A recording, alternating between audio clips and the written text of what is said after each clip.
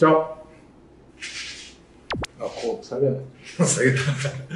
あのー、まあ、前回は、はい。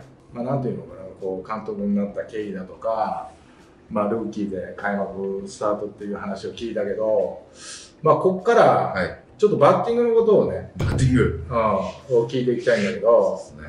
まあ、そう、数々、サヨナラホームランも見てきたし、はいヒットも見てきたし、まあ、2000本安打も見てきたし、自分の中で一番記憶にあるバッティングって何？キンキンで言うとやっぱ400号になっちゃいますよね。400号はい。開幕のあのセンター前じゃなくて、そうセンター前だったよね、そうですね。はい。じゃなくて、じゃなくてやっぱ400号の方が、今だったら若干狙って打ったものだったんで。いや、もうずっと狙ってたよね、最後の方はそうですね。ね、振り回してたよね。そうですね。まあだけどやっぱ狙って打つの難しいなと思いながらやってましたけど、まあ若干狙ってこういってああやって決められたんで、流れ的にも満塁ホームランからの僕次のバッターだったんで、いけるなと思ああ、なるほどって、ね。はい。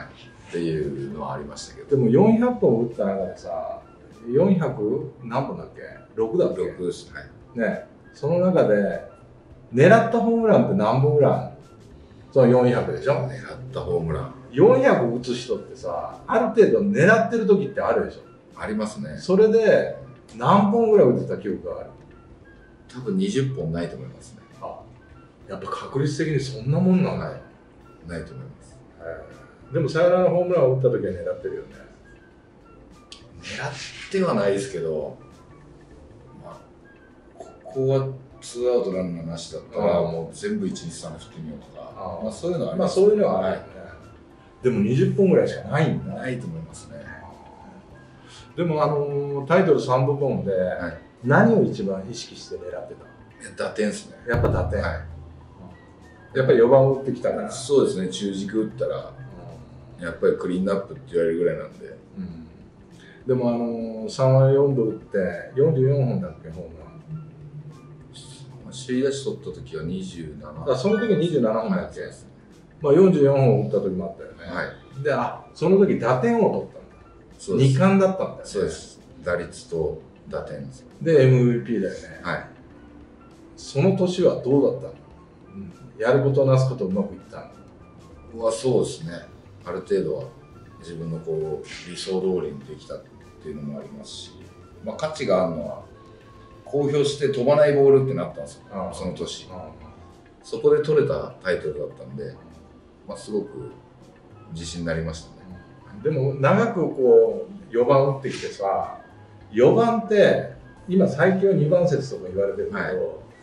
4番ってどういう意識があったの？もう自分のことはそうなんですけどこう味方のベンチがこうここで打ってほしいって時に、ね、打つのが4番だと思いますし相手からしたらここで一発はダメだぞって時にその一発を打てるバッターが4番だと思ってるんで、でも歴代考えるとさ大長嶋さんとかはい、4番を打ってきてやっぱもうきジャイアンツの4番って球界の4番って言われるまだ時代だったじゃない今はそうそうじゃないかもわかんないけどそのプレッシャーっていうのはなかった。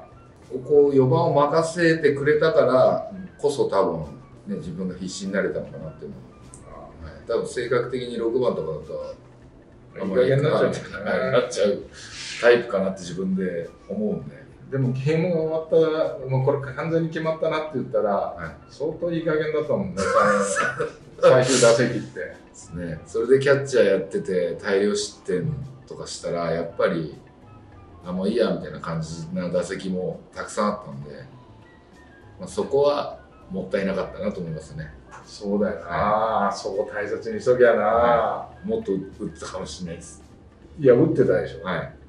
相当いい加減な姿を俺は見たもん。そうですね。もうそこはあの大学が大学なんで。まあそうだな いや俺は必死に打ってた。よいやだってそういうバッターだったそうです。からね塁出るバッター。そうそうそうそう。あのバッティングで一番大事にしてたことって何？でもタイミングです。でも本当シンプルだよね。そうですね。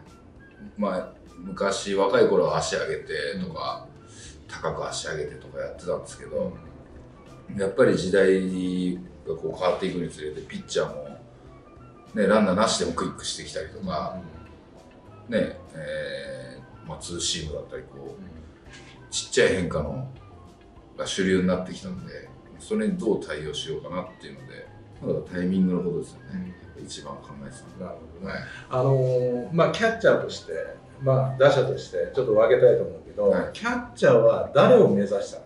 目指すものってあったの？誰か。見本にする人って。いやもちろん谷繁さんだったり、ん。古田さんだったりっていう素晴らしいキャッチャーが敵にいて、まあ、その2人を意識してやってたっていうのは間違いないですね。やっぱあった。はいだからまあ、まあ、例えば谷繁だったらキャッチングだとか、はいスローイングだとか、まあ、古田だったらリードの面だとか、はそういうのを見てた、よく。い、やっぱ見てましたね、敵なあれですけど、はだけど、いやいや、あいつらには負けないよと思ったでしょ。い、いやもう、あとはもう、打つしかないなと思って、自分で。やっぱキャッチャーの経験値としては、やっぱり、ね、ずっと勝てないなと思ってたんで、年も離れてますし。そ、こで対抗できるのは打つしかないなと思って、キャッチャーやりながら。っていうので切り替えられたっていう点でも、数字残せたんじゃないかなと。でもキャッチャーの部分では終わってみて抜けたと思う。いや、抜けてないと思いますね、やっキャッチャーの部分では、えた例えばどういうところが？ぱ。いや、もう技術的なこともそうですし、例えばどういうところ？技術的なとこもうスローイングだったり、取ってからの速さだったり。っていうのは、こう、自分で分析したこともないですし、ただただ谷繁さん、古田さんのは速いなと思って、ろやっぱ思ってた、はい、見てましたね。じゃあ打者で目指したこういうバッターになりたいなって思った人はいるの？松井さんだったり、ね、ここで打ってほしいなーって思う時にゴーンと打ったりとか、やっぱしてたんで、すごいなーと思ってこういうねあここで打ってくれたらなと思ってる時に打つんだなとか思ってましたからそういうとこはやっぱ憧れましたよね。そういうのは2012年に首位打者を取り打点を取ったでしょ、はい俺相手のベンチにいたの知ってる？知ってますよ。DNA に、はよく打つなと思ったよ。いや、まあ本当に。あの年だけ、ね、僕の先輩なんだけど橋上コーチがうん。戦略コーチとして来て、うんまあ、高校の先輩なんですけど橋上さんも楽天で野村さんの横についた時に、なん。でこいつはタイトル取れないんだと思ってずっと不思議に思ってたっていうのをお話ししてキャンプで、まあ、とりあえず1年間だけでいいからあの真面目に1年間野球やってみろっていうふうに言われて、そしたらタイトル取りました。それから真面目じゃなくなった。真面目じゃないわけじゃないんですけどあそう、まあそういう捨てる打席うん。っていうのも減らしてっていうのは口酸っぱくずっと言われてました。ねものすごく印象に残ってるのが台湾でねあのオリンピックの予選かなんかやった時のあはいはい。代表であの時一回も引っ張らなかったんだよねそうですね。全だから知らないバッターだから、は全部流しに行ってそうです4割ぐらい打ったんだけいやどすごかったです。13打数10安打で MVP そのぐらい打ったよね。一回も流さなかったっていうのはさそれやっぱり覚えてる。覚えてます覚えてるよね、はい。それは知らないピッチャーだからやっぱ反対側に打った方が確率が上がると思ってたんでしょ、はそう思いましたね。うん。でたまたまやっぱ引っかかったヒットもあったんですけど、うん気持ちはもう全部反対方向と思って。詰まってもいいからと思ってたよね。そうですね。でもあれを見た時にあすごいなと思ったの。技術が。その技術っていう確率ができたっていうのはな何歳ぐらいそうですね。まあプロ入った時からもうずっと試合前は反対方向を打ってましたし、まあ、それが僕のルーティンになってたんで、まあ、だし知らないピッチャーでこうボール少しでも長く見てって言ったら反対方向しかないなと思って、まあ、そこを徹底できた結果だと思いますけど。でもそそっち打とうと思ったら簡単に打てるでしょ？そうですね。やろうと思えばね方向方向だけは間違えないでしょ。でもインサイドのさばきはうまいんだよね。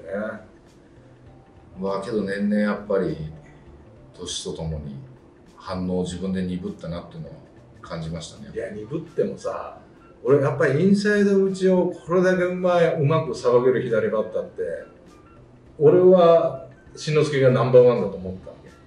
それも開かずにはい。バットのヘッドを走らせて、だからツイスツイスト打法、今年あ昨年か。丸がやったよね横浜スタジアムで。こんなバッティングやったじゃないその走りってその言葉を作り出したのも新之助じゃない。そうですね、まあ、僕はあの中西さんですかねああ中西さん。にそういう練習は入れろって言われて若い頃に言われてあ。ずっと入れてたんですけどね。でまあ丸は「もう開いちゃってしょうがないんですけど」つって、うん。どういう練習ししたらいいですか?」って言ったら「いやもうツイストまでいかないけどこう軸足こうベタ足でうん。こうんうん。